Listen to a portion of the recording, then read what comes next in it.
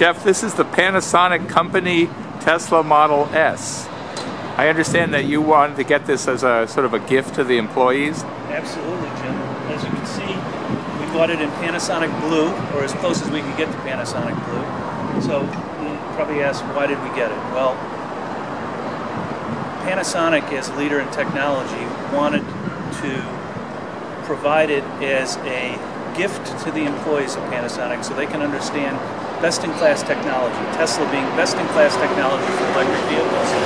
So why not bring it here, let Panasonic, uh, Panasonic people drive it, uh, it becomes advertising for Panasonic and it also becomes advertising for Tesla. So, so it's, Panasonic it's, employees can take this car home. Panasonic employees can take it home. In fact, since we received the car in January, uh, we've probably had close to 150 different people drive it over the last six, seven months.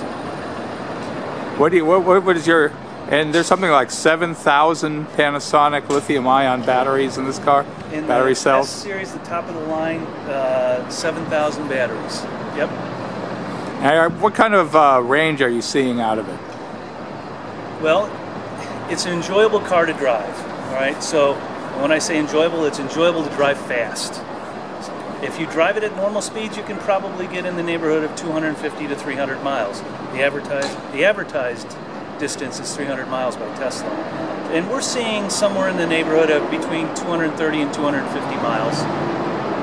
We're in Newark, New Jersey, and uh, we're underneath, or right under the bottom of the Panasonic, uh, the new headquarters in Newark, which is a LEED certified building. And you, you actually have, um, over here somewhere, you have a Tesla supercharger. So you're, you're able to, uh, was it 80 kilowatt charging you have? For the... 80 amp charger.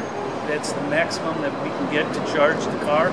It will allow us to charge from the batteries being dead to full charge in about five hours.